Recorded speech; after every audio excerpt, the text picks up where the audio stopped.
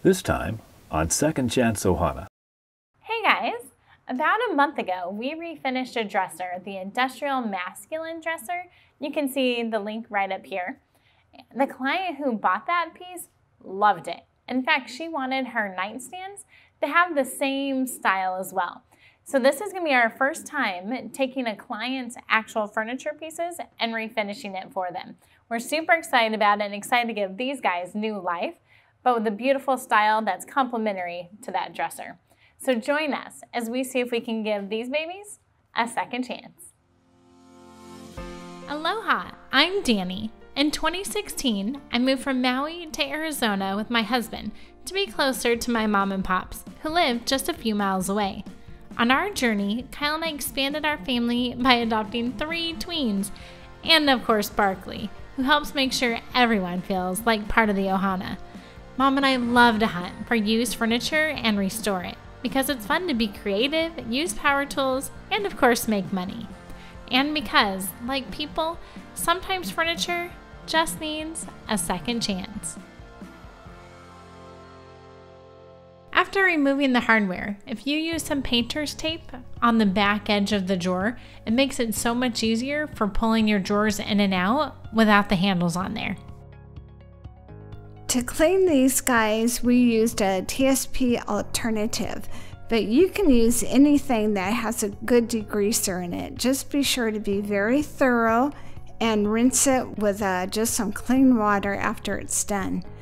And you know what? I just want to tell you guys that if it's a small piece of furniture, get it up on a table. That is going to help your back so much.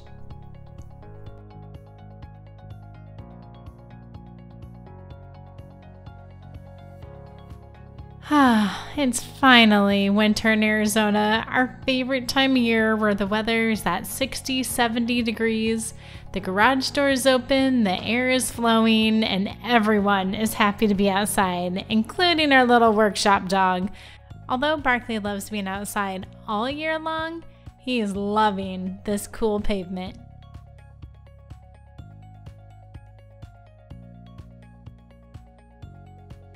I find it easier to pull out the drawers and work on them separately. Oh, and I had a little surprise with this one. Look what I found. Do you know what this is? Do you remember? Like it was an old iPod from the early 2000s. I wonder if it still works. So for the look that we were going for, we wanted part of it to be painted and part of it to be stained. And on the sides here, it was very, very thin wood so we're going to paint this. We're not going to try to get it back to raw wood. So I'm just doing a, a quick scuff sanding with either 180 or 220 grit sandpaper. On the tops, we wanted to take them back to raw wood. So, you guys, our client told us that her husband, who does woodworking, told her that these pieces were solid wood.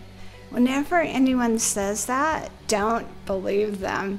Anything made in the 21st century, well, almost anything, is not going to be solid wood at all. In fact, this piece was a lot of MDF uh, covered with a very thin veneer. So I had to be super careful while sanding this.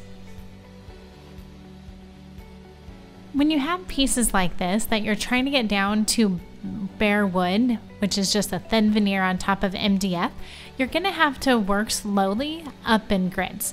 So, mom started with a 120, very light handed, and she kept it moving so that it wasn't going to burn through. Because once it's burned through, there's no going back. After the 120, we moved up to the 180 and again, you're just smoothing it out. And then we finally got to the 220 that took care of all the little last stain blemishes and prepped it perfectly smooth for the stain we were going to be adding. These drawer fronts were the same thin veneer that was on the top.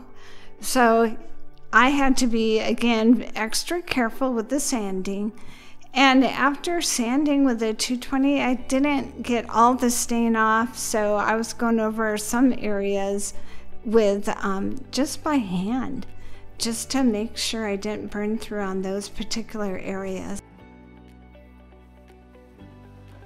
Whoops, Mom, you forgot to finish the sides. Don't worry, I got it.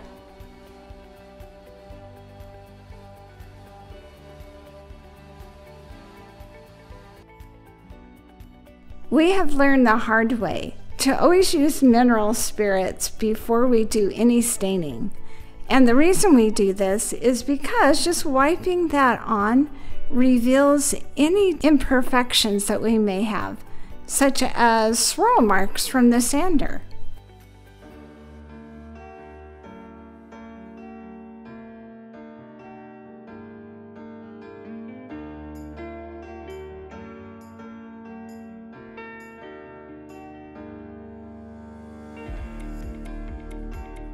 We're going to be adding stripes to these nightstands on the top and on the fronts of the drawers. This is a tedious process. You really have to make sure it's symmetrical, the left nightstand versus the right nightstand, and you need to make sure they're perfectly spaced apart and that they are completely straight and level all the way down. I think this process took us about 20 to 30 minutes just to get two lines of tape for our first stripe.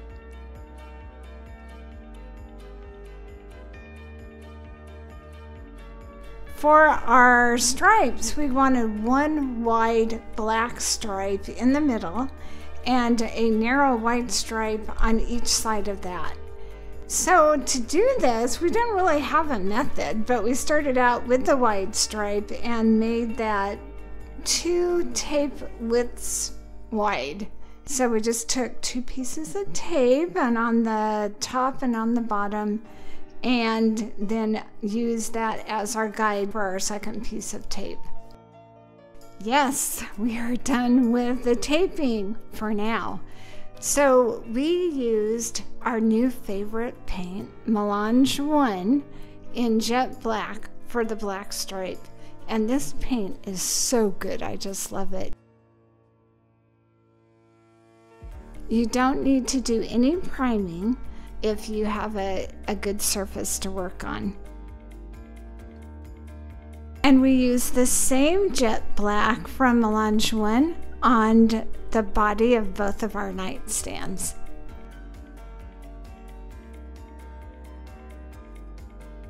For our thin white stripes, we made our own do-it-yourself chalk paint with some white latex paint and some calcium carbonate we did this because we're trying to get rid of what's left in this gallon, but in hindsight, it was actually a poor idea. We should have just used our Sherwin-Williams trim enamel paint that we have in a beautiful shell white because what happened with this chalk paint is once we added the polyurethane, it yellowed over by the next day. And I guess we just really hadn't used a white chalk paint with poly to see how that would happen. So, lesson learned, we'll just stick with the higher quality all in one mineral paints. And if we had had a Melange one in white, we would have used it. But instead, we were trying to cut costs and save money with this chalk paint. Terrible idea.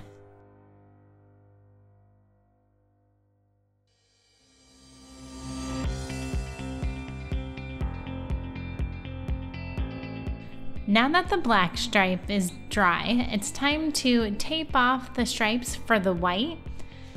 And I'm pretty sure this is the point where mom really started getting frustrated. We didn't spend as much time getting footage of it, but adding these stripes to each piece, I'm pretty sure took what 45 minutes, mom? At least. Yeah, she was um she was she was done by the end of this.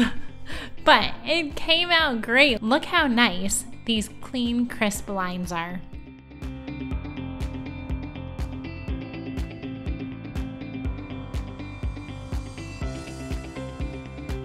You guys, the lines are crisp and clear, but do you see that little white splatter on the black? I can't believe that happened. Time for more touch up. After all the touch ups, I rolled on a coat of the water-based polyurethane over the paint.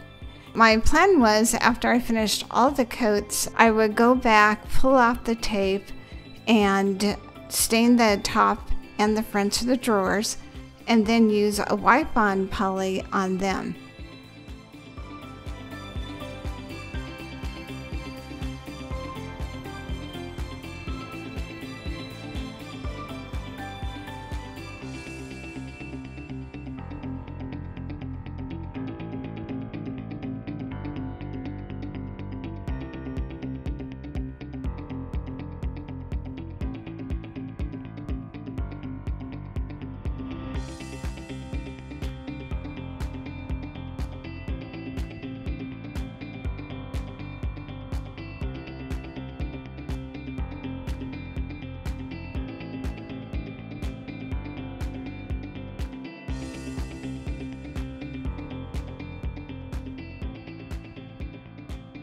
When applying stain, we like to work together as a team because in our dry Arizona climate, the stain after it goes on dries really quickly and gets sticky and tacky. So it's best if one of us is applying it and the other one is quickly wiping off the excess.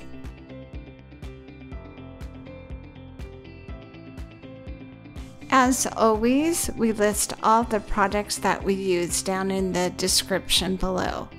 In this case, we're using the Minwax gel stain in the hickory color. And this will match the client's dresser that we finished a few weeks ago.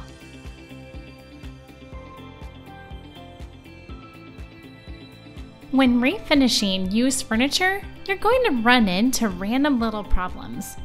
See this drawer all the way on the right? At some point in its lifetime, some sort of oil was spilled inside that drawer, and you can see how it soaked into the bottom, to the side, and even on the face of the drawer.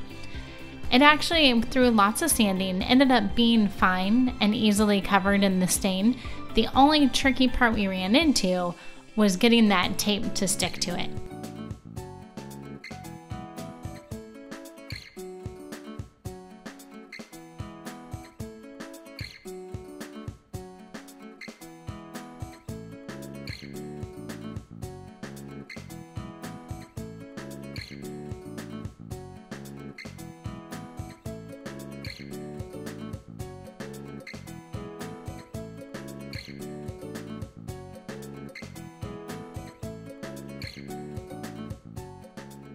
Somehow we missed filming our wipe on poly stage, but we got four coats of wipe on poly on the tops of the nightstands, and we did three coats on the drawer fronts. And now it's time to add those handles. You may remember that the dresser that our client purchased had brown leather pulls on top of the black paint, and to make them complement each other, we purchased these great black leather pulls to sit on top of the wood stain. Don't they look great? Well, we finally finished yes. all the stripes and those nightstands. I'm so glad. Yeah. Do you remember what these pieces looked like when she first brought them to us?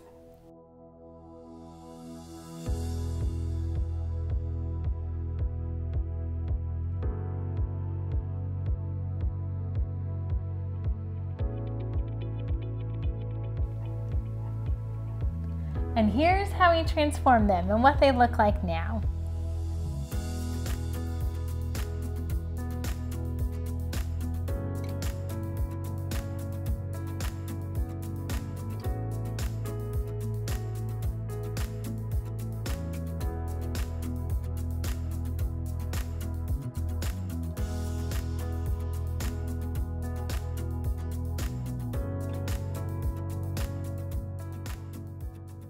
Well, these pieces were not without their issues. What was the most challenging thing for you?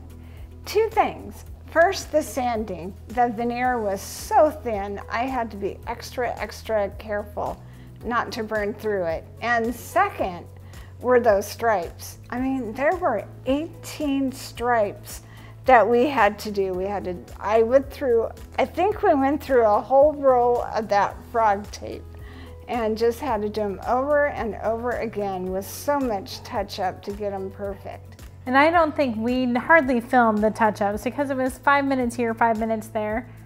But it took forever because as soon as we got one stripe perfect, a little would bleed over or we'd actually, our hand would move and we'd get a little spot.